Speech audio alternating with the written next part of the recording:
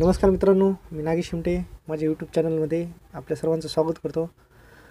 Mega भरतीच्या तारखा आत्ता जाहीर झाल्या आहेत. वेळ अतिशय कमी आहे. मग या कमी वेळामध्ये अभ्यासाचं नियोजन कसं करायचं? स्टडी प्लॅन कसा तयार करायचा? याविषयी मी तुम्हाला आज मार्गदर्शन करणार आहे. प्रथमतः आपण सदरील परीक्षेच्या वेळापत्रकामधील तारखा विविध पदांच्या जाणून घेऊ. वन विभागाच्या वनरक्षक पदासाठी घेण्यात येणारी परीक्षा एक जून दोन हजार एकोणीस ते तेरा जून दोन हजार एकोणीस दरम्यान. महसूल विभागाच्या तलाठी पदासाठी घेण्यात येणारी परीक्षा सतरा जून ते चार जुलै दोन हजार एकोणीस. पशुसंवर्धन विभागाच्या पशुधन पर्यवेक्षक परिचर पदांसाठी घेण्यात येणारी परीक्षा सात जुलै दोन हजार एकोणीस ते एकवीस जुलै दोन हजार एकोणीस. आणि आरोग्य विभागातील विविध पदांसाठी परीक्षा पंचवीस जुलै ते बारा ऑगस्ट दोन हजार एकोणीस दरम्यान विविध केंद्रावर घेण्याची निश्चित करण्यात आली आहे. परीक्षेच्या तारखा जाहीर झाल्या पण आता नियोजन कसं करायचं? वेळ तर खूप कमी आहे. टेन्शन घ्यायचं नाही मित्रांनो. कमी वेळामध्ये कशा प्रकारचं नियोजन करायचं? आता मी तुम्हाला मार्गदर्शन करणार आहे. खूप इझी आहे.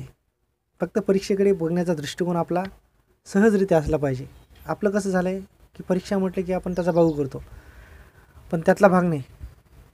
परीक्षा सहजरित्या घेतली की सहजरित्या आपण यश संपादन करू शकतो. आता मुद्द्याकडे वळू आपण.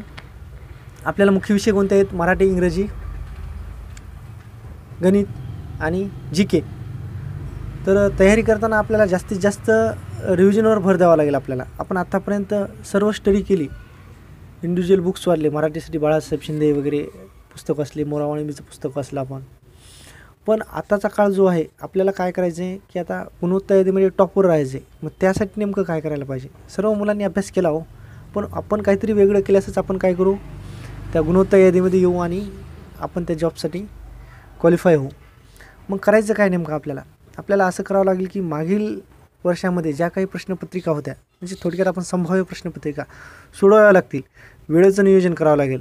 जेव्हा आपण संभाव्य प्रश्नपत्रिका हाताळू सराव घेऊ आपल्या हातामध्ये ते सोडवताना आपल्याला विविध अडचणी येतील. ते वेळेचं मॅनेजमेंट कसं करायचं? कुठल्या घटकावरील प्रश्न सोडवताना आपल्याला जास्तीचा वेळ लागला त्या विषयाची तयारी आपल्याला काय करावं लागेल? पुन्हा करावं लागेल. म्हणजे वेगळ्या पद्धतीनं त्या घटकाविषयी आपल्याला सराव करावा लागेल. गणित आणि मराठी विषय आपण सरावांती करू शकतो. राहिला प्रश्न आता इंग्रजीचा. इंग्रजीचं कसं झालं मित्रांनो माहिती आहे का? आपण ग्रामीण भागातील जास्तीत जास्त विद्यार्थी.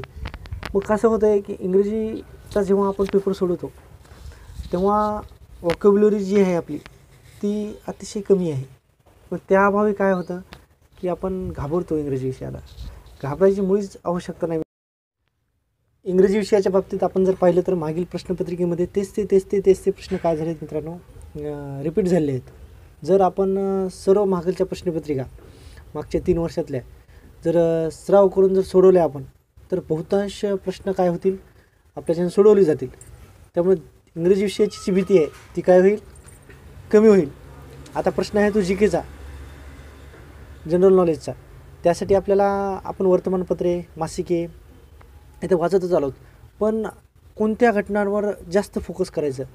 जे विषय जास्त चर्चेत राहिले आहेत कशामध्ये? टी व्हीवर तसेच वर्तमानपत्रामध्ये. म्हणजे त्यांना काय केलं हेडलाईन बनवलं आहे ब्रेकिंग न्यूज अशा बातम्या काय करावं लागतील आपल्याला? समोर ठेवावं लागतील आणि त्याच्या अनुषंगाने करंट अफेअरचा अभ्यास करावा लागेल. आणि त्याच अनुषंगाने समजा आपण राज्यघटना वाचायलो तर राज्यघटनेमध्ये काय करावं लागेल आपल्याला?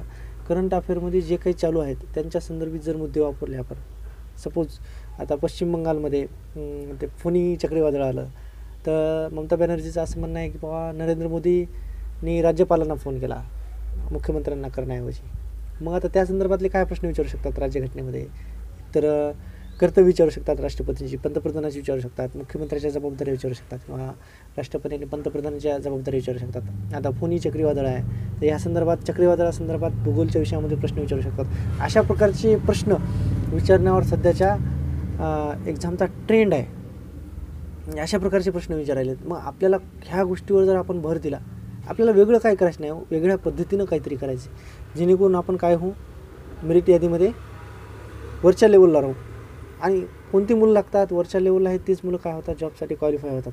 त्याच्यामुळं आपल्याला स्टडी करायची आहे. फक्त त्याची पद्धत थोडीशी वेगळी करायची आहे. तर मित्रांनो अशा प्रकारे अभ्यास करून तुम्ही माझ्या मार्गदर्शनाला फायदा घेऊन नक्कीच आगामी होणाऱ्या परीक्षेमध्ये यश संपादन कराल. त्यासाठी सर्व तुम्हाला सर्वांना शुभेच्छा. आणि जर तुमच्या काही अडचणी असतील एखाद्या घटकावर तो एखादा घटक जर समजत नसेल तर मला खाली दि खाली दिलेल्या चॅनलला माझ्या सबस्क्राईब करा आणि त्याच्या कॉमेंट बॉक्समध्ये तुम्हाला जे काही घटक अवघड वाटतो तो घटक टाईप करून पाठवा. मी त्या संदर्भात तुम्हाला सोप्यात सोपा व्हिडिओ तयार करून पाठवण्याचा माझा प्रयत्न राहील. ओके धन्यवाद मित्रांनो.